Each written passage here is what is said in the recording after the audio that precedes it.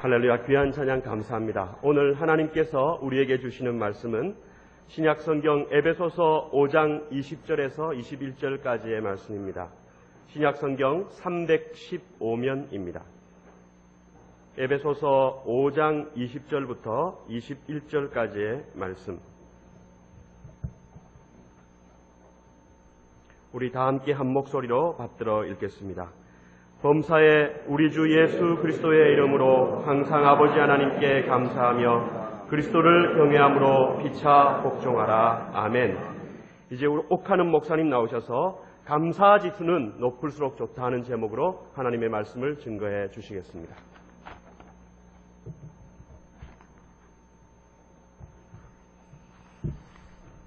오늘은 1년에 한 번씩 우리가 지키는 추수감사 주일입니다.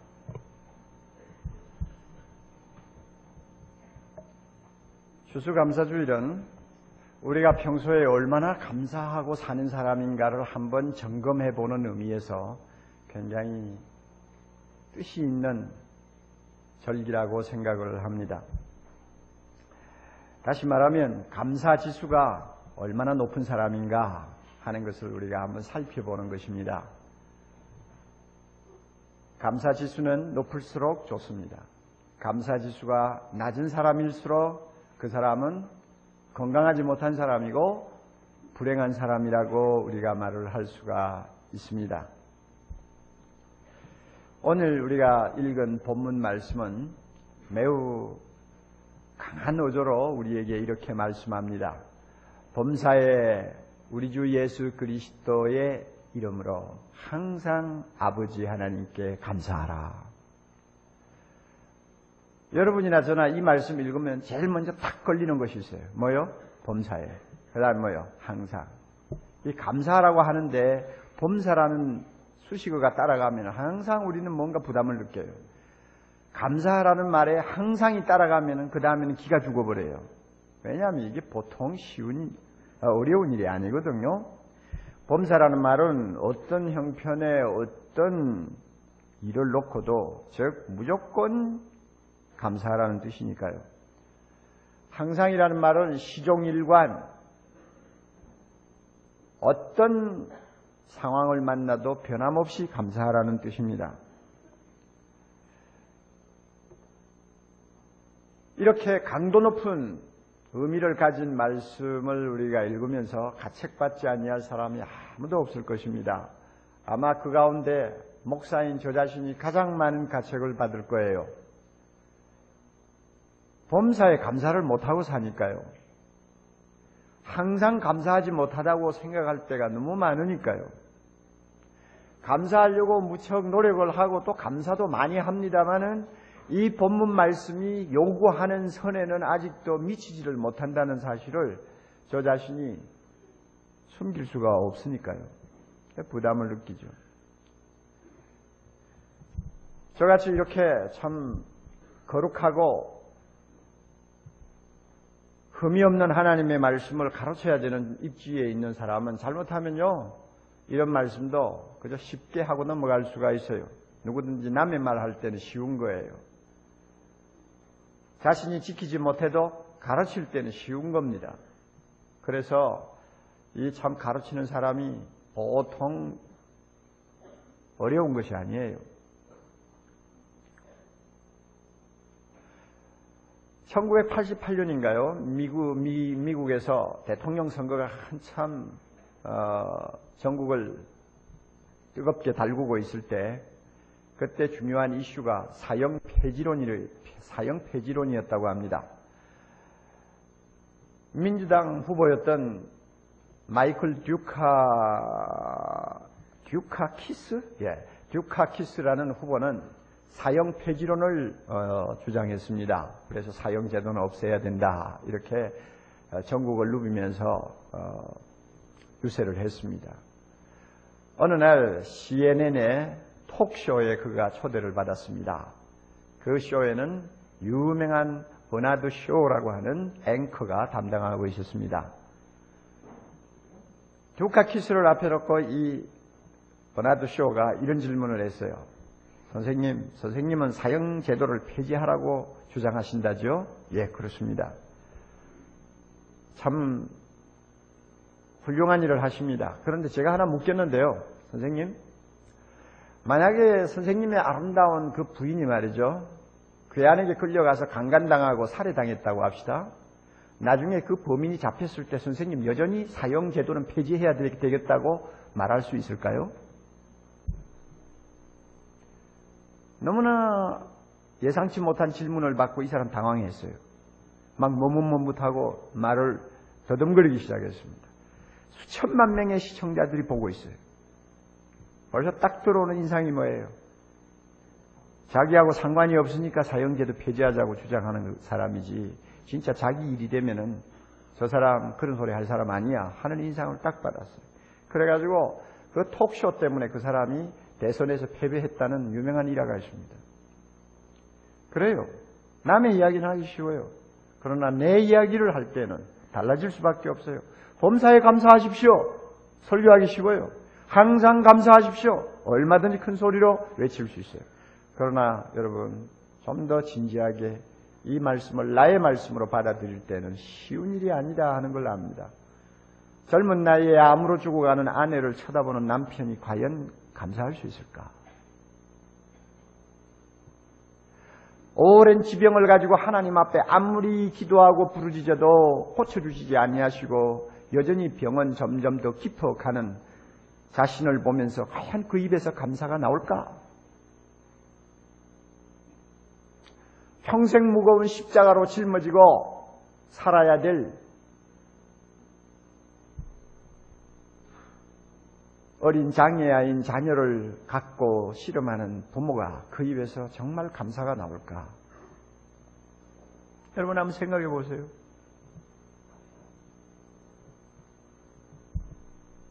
이력서를 수십 통 써가지고 다니면서요, 취직을 하려고 해도 회사에서 면접 한 번 하지 못하고 퇴짜를 맞고 퇴짜를 맞고 하는 젊은이의 입에서 과연 하나님 감사합니다 하는 말이 나올까? 내가 그런 경우를 당했다면 정말 감사할 수 있을까? 저나 여러분이나 이런 입장을 놓고 이 말씀을 보아야 돼요. 인간적으로 말하면 이 말씀은 현실성이 없어요. 비현실적인 말씀이에요. 어떻게 보면 이상론이에요. 이상론이라도 한참 이상론이에요. 그러므로 이런 말씀은 막 적당히 보고 넘어갈 수도 있어요.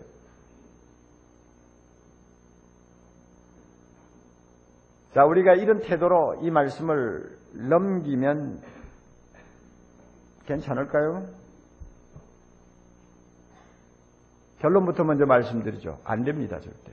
절대로 안 됩니다. 왜냐하면 하나님께서 주신 말씀이기 때문에 그렇습니다. 여러분 오늘 본문을 놓고 두 가지 사실을 우리가 꼭 깨달아야 됩니다. 왜 범사에 감사해야 되느냐? 왜 항상 감사하라고 하시느냐? 두 가지 사실을 분명히 알아야 돼요. 첫째는요, 본문 다시 보세요. 범사에 우리 주 예수 그리스도의 이름으로 항상 아버지 하나님께 감사하라 그랬죠? 자, 왜 범사에 감사해야 되느냐? 우리 주 예수 그리스도 때문에 이름으로 하는 말을 때문에 하고 바꾸어도 전혀 잘못되지 않았어요. 예수 그리스도 때문에 범사에 감사할 수 있다는 것입니다. 하나님의 자녀는 예수 그리스도 때문에 예수 그리스도 한 분만으로 범사에 감사하고 항상 감사할 수 있는 존재가 될 수 있다고 지금 말씀하는 것입니다. 두 번째는 뭡니까? 우리의 아버지 되신 하나님이 범사에 항상 감사하라고 명령하고 계시는 것입니다. 항상 범사에 감사하라고 하나님이 명령하신다 그것입니다. 이 두 가지 우리가 마음에 담아야 돼요. 다시 한번 마음에 정리하세요. 누구 때문에? 예수 그리스도 때문에 우리는 범사에 항상 감사할 수 있어야 한다. 또 두 번째로는 아버지 되신 누가 하나님이 우리에게 범사에 항상 감사하라고 명령하시기 때문에 해야 되는 거예요. 하나님, 그 너무 비현실적인 말입니다. 어떻게 그렇게 할 수 있습니까? 그렇게 변명하면 안 된다는 이야기요. 자, 그러면 먼저 생각해 봅시다. 예수 때문에 어떻게 우리가 범사에 감사할 수 있어요? 예수님을 한번 여러분 마음에 다시 한번 되새겨 보세요. 그분이 누굽니까? 하나님의 아들이세요. 그가 우리를 너무 사랑하셔서 우리를 구원하시려고 세상에 오셨대요. 그리고 나의 죄를 짊어지고 저 무지하고 잔인한 십자가에서 죽으셨어요. 사흘 만에 하나님이 그를 죽음에서 일으켰습니다. 그리고 누구든지 예수님 믿습니다 하고 그의 옷자락만 믿음으로 붙드는 사람은 어떤 죄를 범했든지 어떤 과거를 가졌든지 하나님이 그 모든 죄를 다 용서하시도록 약속하셨어요. 그러므로 오늘 세례 받으시는 형제자매들 예수님의 이름 때문에 예수님이 죽으시고 부활하신 그 공로 때문에 하나님 앞에 의인이 되어서 세례를 받는 것입니다. 성부와 성자와 성령의 이름으로 세례를 주노라 이 말은 내가 너의 모든 죄를 다 용서하노라 하시는 하나님의 음성이에요. 그리고 예수님 때문에 우리는 영원히 하나님과 더불어 살 수 있는 영생을 선물로 받았습니다. 예수님으로 인해서 우리는 하나님의 아들이요 딸이라고 하는 기가 막힌 신분을 우리가 소유하게 되었습니다. 그리고 예수님이 약속하셨어요. 이 세상 끝날까지 내가 너와 함께 있으마 두려워 말라 내가 너와 함께 한다. 주님이 약속하셨어요. 그 예수님 우리는 마음에 모시고 이 세상을 삽니다. 예수님에게는 모든 것이 다 있습니다. 예수님에게는 모든 것이 가능합니다. 예수님은 우리를 가장 사랑하시는 하나님입니다. 자, 그렇다면 여러분 이 예수님 한 분 때문에 범사에 감사할 수 있지 않습니까? 세상 사람이 가지고 즐기는 것이 나에게 없다 할지라도 나에게 예수님이 계신다 하는 그 이유 하나만으로 범사에 감사하고 항상 감사할 수 있지 않을까요? 하나님은 말씀합니다. 그렇게 할 수 있다고 그럽니다. 서로 세상에서 아무것도 내가 얻은 것 없다 할지라도 예수님 한 분 내가 소유하고 그분을 발견하고 그 안에서 진정 하나님의 자녀로서의 행복을 찾았다면 그, 그 사람은 언제든지 감사할 수 있고 어떤 조건에서도 하나님 감사합니다 하고 찬송할 수 있다는 것입니다.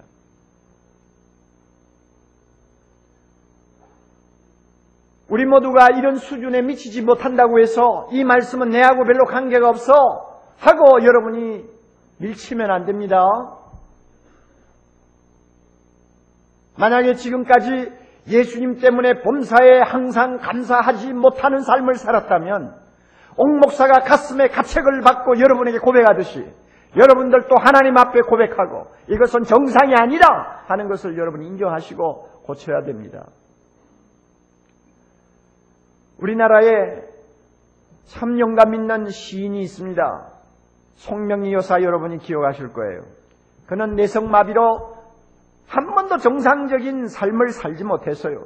태어날 때부터 내성마비, 온몸이 비비 꼬여가지고 말 한마디를 하려고 하면은 죽다 살아나는 그런 고통을 겪으면서 말 하나를, 말 한마디를 할 수 있을 정도로 아주 1급 장애인이에요.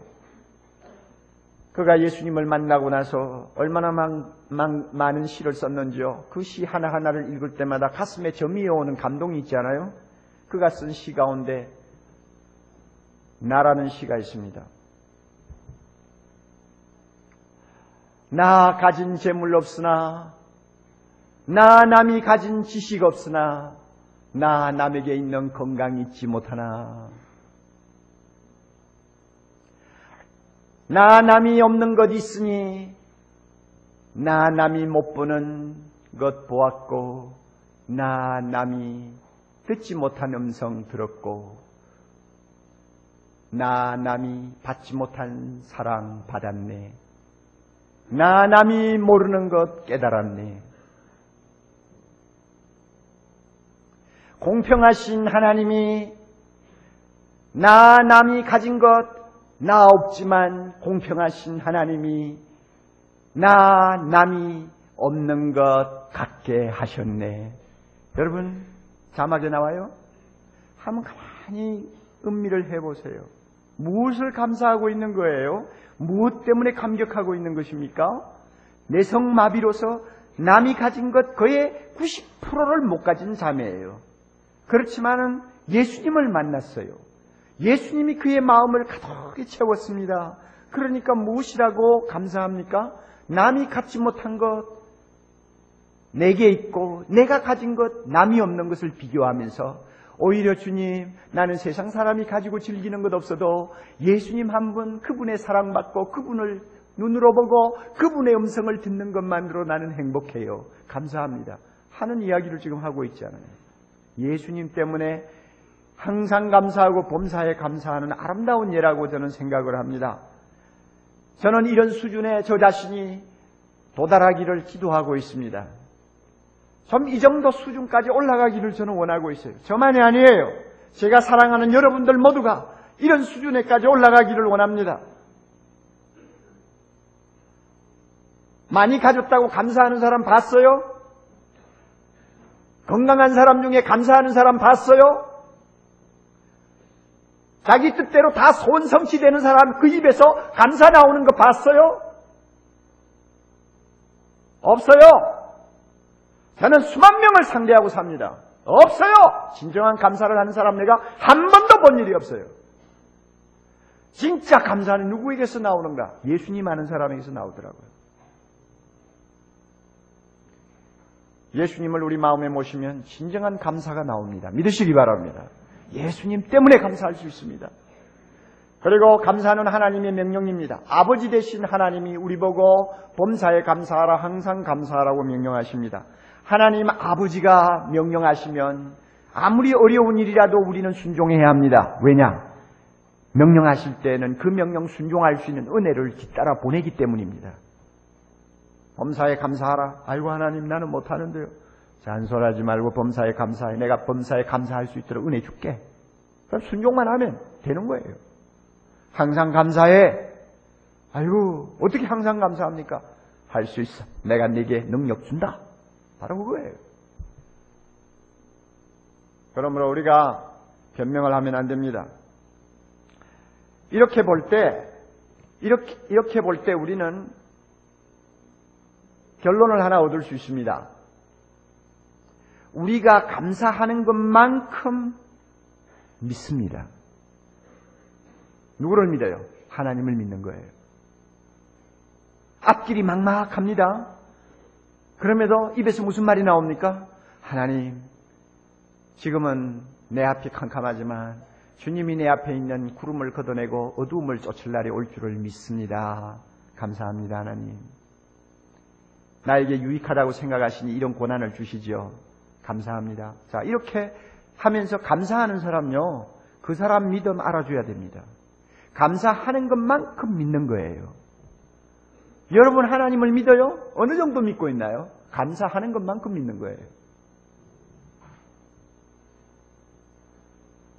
우리는 감사하는 것만큼 행복할 수 있습니다.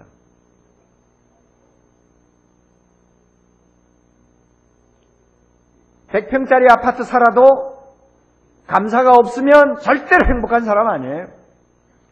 20평짜리 아파트 살아도 눈만 뜨면 하나님 감사합니다 하고 그 입에서 찬송이 나올 정도로 주님 앞에 감사하는 심정을 가지면 그 사람 행복한 거예요. 그 사람의 행복을 누가 빼앗아갈 수 있습니까? 우리는 감사하는 것만큼 다릅니다. 누구하고 달라요? 세상 사람하고 달라요. 세상 사람들은 입만 열면 불평이 심해요. 불평은 하지 않을지 모르지만 감사가 별로 없어요. 그러나 우리 입에서 계속 감사가 나옴으로써 내가 그들과 어떻게 다른가를 보여줄 수 있어요. 감사가 없나요? 그들과 다른 점이 뭡니까? 우리는 감사하는 것만큼 강합니다. 우리 교회 안에 천성적인 장애를 안고 나온 자녀를 가진 부모들이 여러 명 있죠. 그 가운데서 어떤 자매의 말을 들으면서 저 자신이 참 자주자주 도전을 받습니다. 목사님, 우리 애 때문에 우리가 얼마나 많은 복을 받고 있는지 아세요? 말이 아니지. 무슨 복은 복이냐. 그렇죠? 당장 우리는 그렇게 느끼죠. 근데 보세요. 우리 애 때문에요. 우리 가정이 얼마나 화목하는지 몰라요. 우리 애 때문에요. 우리 아버지가, 우리, 우리 아빠가 예수 믿고 왔어요. 아마 애가 저러지 않았으면 아빠 예수 안 믿었을 거예요. 우리 애 때문에 우리가 이렇게 잘 살아도 교만하지 않을 수 있게 됐어요. 우리 애 때문에요. 세상에서 천, 천대받고 또 세상에서 인정받지 못한 가난한 사람, 고통당하는 사람, 관심을 갖게 됐어요. 이해 때문에 하나님이 우리 가정에 주신 복이 보통 많은 거 아니에요. 여러분 이런 소리를 제가 들을 때 그 사람만큼 강한 사람이 어디 있어요, 천하에? 누가 이 사람을 꺾을 수 있습니까? 아무도 꺾을 수 없습니다. 그러므로 여러분, 감사 지수는 높을수록 좋습니다. 감사가 많으면 많을수록 우리의 믿음은 더 좋아집니다. 감사가 많으면 많을수록 우리는 더 행복해집니다. 감사가 많으면 많을수록 우리는 세상 사람 앞에 매력적인 존재가 됩니다. 감사가 많으면 많을수록 우리는 더 강해집니다. 할렐루야. 이거 꼭 믿으세요. 그러므로 오늘부터 돌아가서 의도적으로 감사하세요. 나는 예수님 믿는 사람이야. 예수님 때문에 나는 무조건 감사할 수 있어. 하면서 감사하면 지금까지 불평스럽게 여겼던 거 감사하면 지금까지 남을 원망하던 거 거꾸로 뒤집어서 감사하면 지금까지 만족하지 못하던 거 감사하면 하나님이 은혜를 주십니다. 우리 아버지 하나님이 날 보고 범사에 항상 감사하라고 하셨어. 그러니까 나는 감사해야 돼. 아버지에게 순종해야 돼. 하면서 여러분이 어떤 형편에서든지 어떤 상황에서든지 감사할 것들을 찾아가지고 하나님 앞에 감사하도록 노력하십시오. 그럴 때 우리의 믿음이 좋아집니다. 우리가 행복해집니다. 우리가 강해집니다. 우리가 세상 사람 앞에 매력을 줄 수 있습니다. 하나님께서는 우리 모두가 이런 멋있는 자녀가 되기를 소원하고 계십니다. 본문 다시 보세요. 범사에 우리 주 예수 그리스도의 이름으로 항상 아버지 하나님께 감사하라. 아멘. 다 같이 기도하십시다. 자비로우신 하나님 아버지, 우리를 자녀 삼으신 하나님 아버지께서 감사할 것이 별로 없는 세상을 사는 우리에게 범사에 감사하라고 하셨고 항상 감사하라고 하셨습니다. 예수님 때문에 우리는 범사에 항상 감사할 수 있다고 말씀하십니다. 우리 하나님 아버지가 감사하는 자녀를 좋아하시기 때문에 우리는 아버지의 명령에 순종해야 된다고 가르쳐 주셨습니다. 오늘 말씀을 들은 우리 모두가 하나님 어떤 형편에 있든지 범사에 감사하고 항상 감사함으로 믿음이 더욱 좋아지게 하옵소서 더 행복해지게 하옵소서 더 매력 있는 사람 되게 하옵소서 더 강한 자 되게 해 주시옵소서 예수님 이름으로 기도드리옵나이다. 아멘.